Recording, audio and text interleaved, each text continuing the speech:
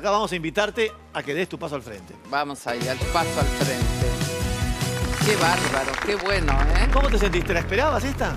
Eh, si digo que no, miento. Si digo que sí, miento. Claro, Dejo bueno. que vaya fluyendo. Entonces no mientas, porque yo vi que el cantar te hizo bien, bien, te, te- te dio como una especie de est- esta invitación de Tete. te dio como- Siempre. Sí. Yo digo siempre lo mismo. Canto cuando estoy contento, canto cuando estoy triste. Siempre. Sí, bueno, Siempre. lo que pasa es que se liberan emociones, miedos, todo, la, ca- la música y la canción, la posibilidad. Aunque cantes mal, vos cantás muy bien, pero aunque cantes mal, No, este, este es- seguro, es, bárbaro. seguro. El hecho es Buenísimo. cantar, disfrutar. Bueno, llega el momento de presentarte la hora exacta, a ver qué tema te ha tocado. Sabés que siempre tocamos temas que han sido importantes, que han conmovido y que han despertado mucho interés en mucha cantidad de gente. Así que vamos a hablar de esto. Ahora te lo presentamos. El primer cura Villero nació en el seno de una familia acomodada y fervientemente antiperonista. Fue el padre Carlos Mujica. Ya seminarista, vivió el enfrentamiento de Perón con la iglesia como una afrenta personal y en un principio celebró el derrocamiento del presidente. Pero una visita a un conventillo donde la gente estaba muy triste por lo sucedido comenzó a transformar su visión de la realidad. O ellos están equivocados o el equivocado soy yo, se replanteó. En la década del 60 fue ordenado sacerdote y durante el gobierno de Frondizi lo nombraron párroco en la Villa de Retiro, asesor de Acción Católica de la Universidad de Buenos Aires y del Colegio Nacional de Buenos Aires, donde estudiaban quienes más tarde se convertirían en importantes cuadros del movimiento Montoneros, Fernando Abal Medina, Carlos Ramos y Mario Firmenich. En 1968 se entrevistó con Perón en Madrid y vivió muy de cerca las protestas en París, que desembocaron en el Mayo francés. También se enroló en las filas del movimiento de sacerdotes del Tercer Mundo Argentino, cuyo principal objetivo era luchar por los más humildes. Estos hechos marcarían la senda que él consideraba su misión. A su regreso se encontró una Argentina de creciente violencia, con movimientos obreros enfrentados al gobierno de facto de Onganía y protestas como el Cordobazo, que eran brutalmente reprimidas.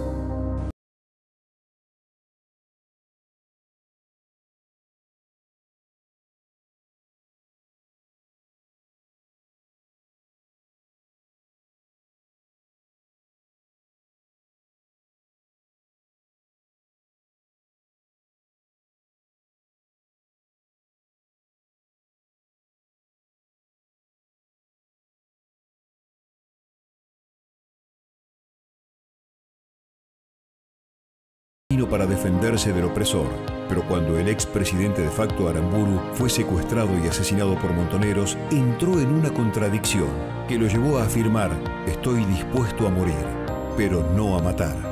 Sin embargo, tras la muerte en un enfrentamiento de Abal Medina, ofició una misa para despedir sus restos. que los lleves contigo a la vida eterna, ellos no hayan muerto en vano, sino que nosotros, impulsados por el amor a ti, por el deseo de glorificarte, Señor, no con las palabras, sino con las obras, luchemos por la justicia, por la fraternidad, para que todos en nuestra patria, sin explo- explotación, sin marginación de nuestros hermanos, los pequeños, los pobres, los humildes, podamos constituir esa patria grande, esa patria en la cual seamos hermanos, en la cual mostremos con los hechos que somos realmente sus discípulos, y podamos entonces nosotros también ser de estar un día en tu gloria, donde gozaremos para siempre de tu amor y de tu. Por estos dichos, el cura fue acusado de instigación a la violencia y llevado detenido por apología del crimen.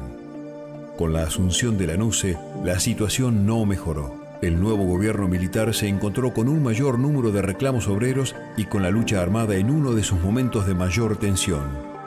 La NUCE tuvo que convocar a elecciones y permitir el regreso de Perón.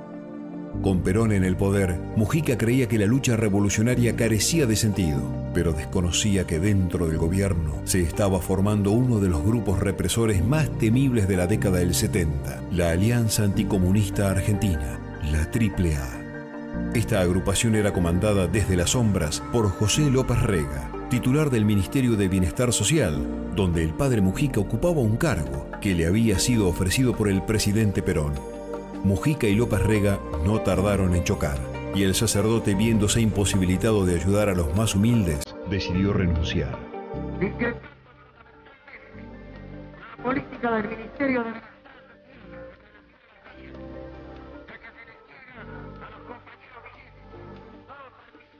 creadora en la solución de sus problemas y a pedido de los compañeros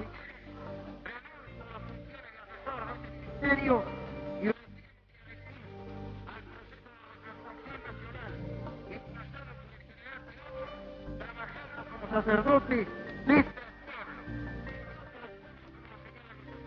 A partir de entonces, fue víctima de amenazas constantes hasta que finalmente fue asesinado de 14 disparos en la puerta de la parroquia San Francisco Solano, en Mataderos, donde acababa de oficiar misa. El padre Carlos Mujica sabía que estaba sentenciado a muerte, pero de todos modos desestimó cada una de las posibilidades que le brindaron para emigrar. Dicen que solía repetir, ¿cómo me voy a ir? No puedo abandonar a mi gente.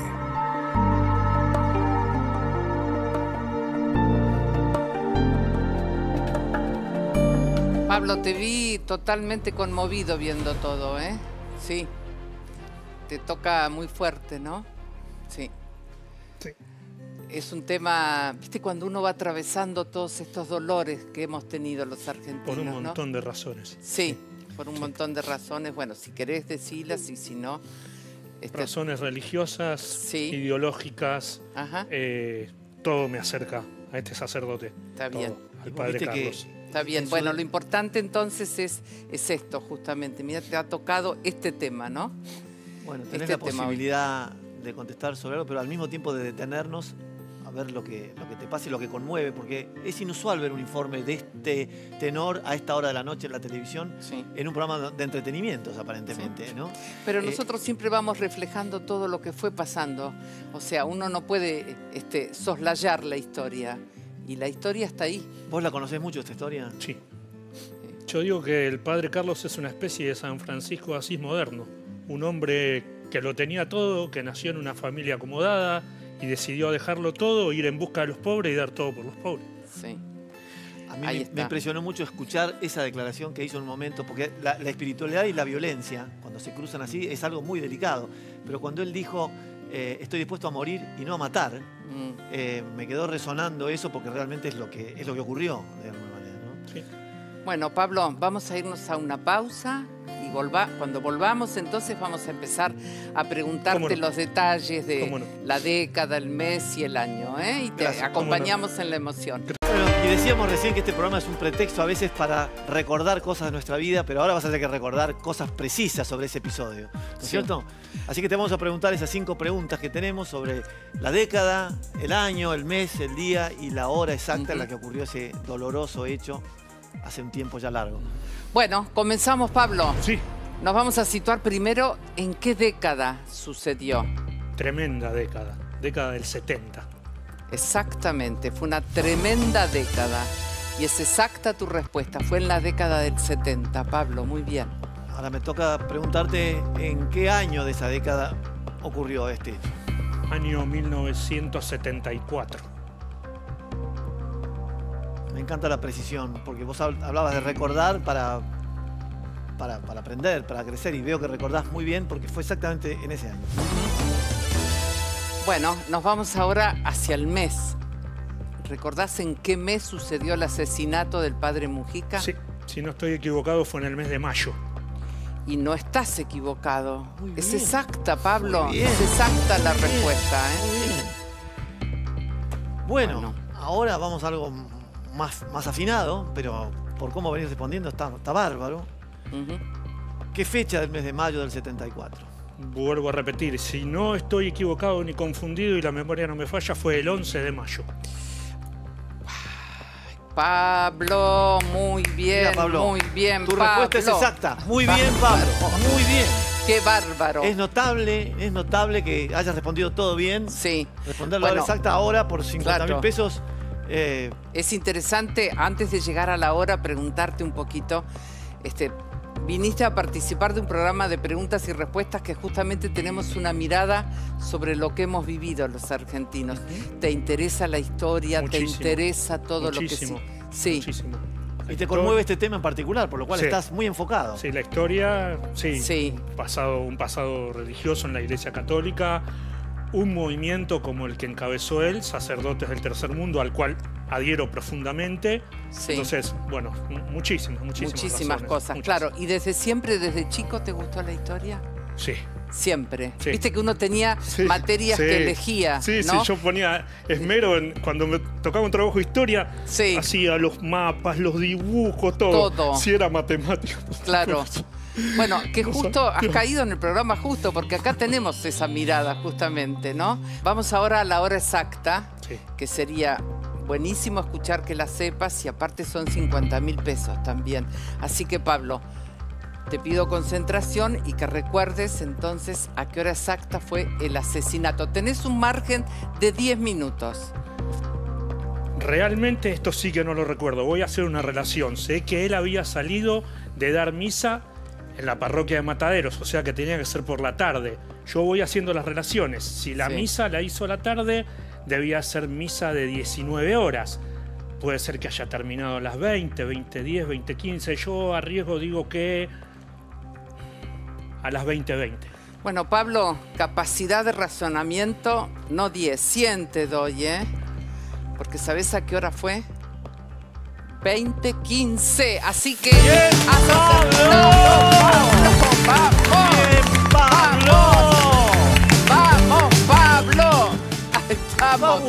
Pablo, qué alegría, qué bueno. El ¿Viste vos? razonamiento, como dije, la hora, terminar la misa, el invierno. Exacto. Uno que ha ido tanto a misa, empieza a 19 horas, termina. Las misas de día de semana no terminan tan tarde. Tan tarde. No, por eso es genial. Pero además empezaste la capacidad cantando, de empezaste cantando y Sí. terminaste emocionado. Entonces hay un combo completo que es todo junto, se dio. Todo junto. Todo junto se dio. Bueno, Qué bien. Has ganado 50 mil pesos y has ganado toda nuestra admiración también. ¿eh, Vas a seguir jugando. Vas a seguir Gracias, jugando gracias mañana entonces. Qué bien, Qué bien, qué jugador. alegría que 100 nos has dado, ¿eh? Buenísimo, 50.000 Pablo. Sabés que no podemos correr y abrazarte, pero nos encantaría hacerlo. Vamos, bien, Pablo, bien, vamos, Pablo.